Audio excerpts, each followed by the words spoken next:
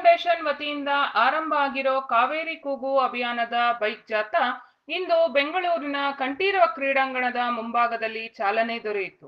ಈ ವೇಳೆ ಮಾತನಾಡಿದ ಸದ್ಗುರು, ನೀರಿನ ಸಮಸ್ಯೆ ಬಗ್ಗೆ ಈಗ ಎಚ್ಚೆತ್ತುಕೊಳ್ಳಲಾಗಿದೆ ಕಾವೇರಿ ಕೂಗು ಅಭಿಯಾನ ಭವಿಷ್ಯದಲ್ಲಿ ಆಗೋ ಅನಾಹುತನ ತಪ್ಪಿಸತ್ತೆ ಬೆಂಗಳೂರಿನಲ್ಲಿ ಎಂಬತ್ನಾಲ್ಕು ಲಕ್ಷಕ್ಕೂ ಹೆಚ್ಚು ಜನ ವಾಸ ಮಾಡ್ತಾ ಇದ್ದಾರೆ.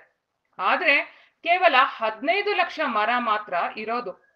ಮರಗಳನ್ನ ನೆಟ್ರೆ ಬೆಂಗಳೂರಿನಲ್ಲಿ ಸಿಗೋ ನೀರ್ ಸಾಕು. ಮರಗಳನ್ನ ನೆಟ್ಟು ಬೆಂಗಳೂರನ್ನ ರಕ್ಷಿಸಬಹುದು ಇದೇ ವೇಳೆ ಹೊಂಬೇಗೌಡ ನಗರ ಟ್ರಾಫಿಕ್ ಇನ್ಸ್ಪೆಕ್ಟರ್ ಹೇಮಲತಾರವರು ಖುದ್ದು ಹಾಜರಾಗಿ ಅಲ್ಲಿ ಬಂದಿದ್ದ ಸಾರ್ವಜನಿಕರಿಗೆ ವಾಹನ ಸಂಚಾರಕ್ಕೆ ಅಡ್ಡಿಯಾಗದಂತೆ ಮುಂಜಾಗರೂಕತೆಯನ್ನು ವಹಿಸಿದ್ದರು. ಒಂದು ಅದ್ಭುತವಾದ ಇನಿಷಿಯೇಟಿವ್ ಫ್ರಮ್ ಇಶಾ ಫೌಂಡೇಶನ್ ಹಾಗೂ ಸದ್ಗುರು ಕಡೆಯಿಂದ. ಎಲ್ಲರೂ ಕೂಡ ತುಂಬ ಇನ್ಸ್ಪೈರ್ ಆಗಿದ್ವಿ ಆ ಒಂದು ಕಾನ್ಸೆಪ್ಟಿಂದ ಯಾಕೆಂದರೆ ಕಾವೇರಿ ಈಗ ನೋಡಿದ್ರೆ ನಲವತ್ತು ಪರ್ಸೆಂಟ್ ಕುಗ್ಗೋಗಿದೆ ಸೊ ಉಳಿದಿರುವಂಥ ಅರವತ್ತು ಪರ್ಸೆಂಟ್ ಉಳಿಬೇಕು ಅಂತಂದರೆ ನಾವೆಲ್ಲರೂ ಜೊತೆ ಸೇರಬೇಕು. ಒಂದ್ಸತಿ ನೋಡಿ ಜನಸಾಗರ ಇವರೆಲ್ಲರೂ ಕೂಡ ಸೇರಿ ಕೈ ಜೋಡಿಸಿದ್ದಾರೆ ಫಾರ್ ಕಾವೇರಿ ಕೂಗಿಗೆ. ಬಟ್ ನಿಜವಾಗ್ಲೂ ಮುಂದಿನ ಪೀಳಿಗೆಗೆ ಒಳ್ಳೇದಾಗಬೇಕು. ನಮ್ಮೆಲ್ರಿಗೂ ಕೂಡ ಒಂದು ಒಂದು ಸಂಬಂಧ ಇದೆ, ಒಂದು ಬ್ಯೂಟಿಫುಲ್ ರಿಲೇಷನ್ ಇದೆ ವಿತ್ ಕಾವೇರಿ ತಾಯಿ ಜೊತೆಗೆ.